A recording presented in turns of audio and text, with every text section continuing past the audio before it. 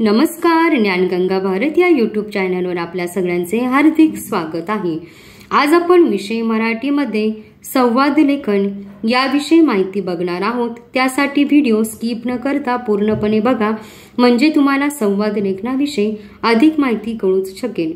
तसेच तुम्ही आमच्या ज्ञानगंगा भारत या यूट्यूब चॅनलवर नवीन असाल तर चॅनलला जरूर सबस्क्राईब करा आणि बेल ऐकूनला प्रेस करा. जेणेकरून तुमच्यापर्यंत अशाच प्रकारच्या नवीन नवीन व्हिडिओची माहिती पोहोचू शकेल. चला तर आपण संवाद लेखनाचा विषय बघूया.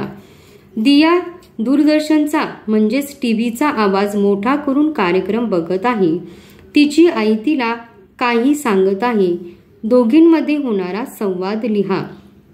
अशा प्रकारचा प्रश्न जेव्हा तुम्हाला परीक्षेमध्ये विचारला जातो ते तेव्हा कशा प्रकारे तुम्हाला संवाद लेखन लिहायचं आहे याची आपण सविस्तर माहिती बघूया.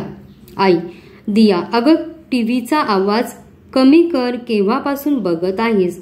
डोळे कान दुखत नाही का तुझे? दिया अगं आई आवाज मोठा असला की ऐकायला वेगळीच मजा येते. आई पण दिया दादा व ताई अभ्यास करत आहेत त्यांना त्रास होतो व मोठ्या आवाजाने ध्वनी प्रदूषण होते बरं. तसेच सतत टी व्ही पाण्याने डोळेही खराब होतात. दिया ध्वनी प्रदूषण म्हणजे काय ग आई? तू न कळणारे शब्द बोलू नकोस आई मोठ्या व सततच्या आवाजाने कानाची ऐकण्याची क्षमता कमी होते. कानांनी नीट ऐकू येत नाही. मग माणूस बैरा होतो चिडचिडा होतो म्हणून मोठ्या आवाजाला त्रास देणारा आवाज किंवा ध्वनी प्रदूषण म्हणतात. दिया मला हे माहीत नव्हतं बरं का आई. मी टी व्ही बंद करते. पुन्हा जेव्हा टी व्ही पाहीन तेव्हा आवाज कमी करेन. आई ध्वनी प्रदूषणाने आजारी वृद्ध माणसांना त्रास होतो. मोठ्याने बोलण्याची सवय लागते. कानात दोष निर्माण होतात. कामात लक्ष लागत नाही. असे अनेक दुष्परिणामही होतात. दिया धन्यवाद आई.